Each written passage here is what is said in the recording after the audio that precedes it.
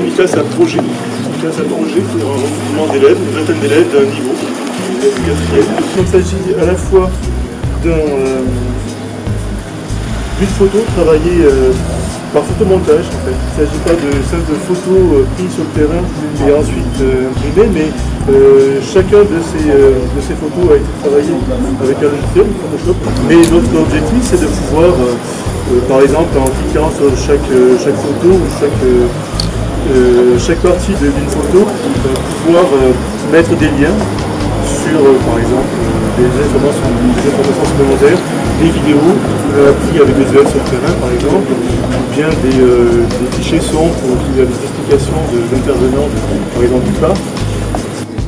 Il y a ici, à Trois-Bassins, une articulation entre euh, l'offre de périscolaire et le CLEA, l'un et l'autre s'enrichissant mutuellement. Ici, à notre euh, petite échelle, nous devons aussi euh, travailler sur le plan pédagogique avec nos équipes, avec nos élèves, pour que ce, ce moment fort du début d'année se transforme en véritable apprentissage, avec une dimension artistique et culturelle qui nous reste encore à travailler. Monsieur Perret, donc au nom de la ville et au nom de Monsieur Lucas Leca, nous souhaitions vous remettre ce exemplaire.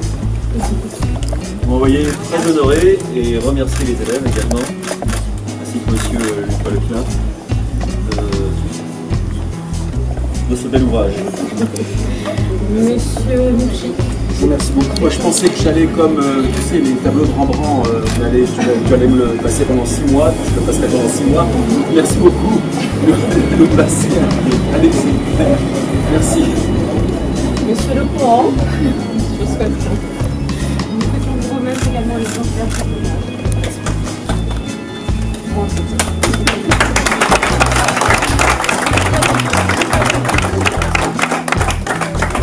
Et donc, euh, l'éducation artistique et culturelle cherche à résoudre ces impasses, ces peurs, ces frontières invisibles. C'est sensibiliser le plus tôt possible les jeunes enfants à la question de l'éducation artistique et culturelle. Voilà, c'est aussi simple que cela.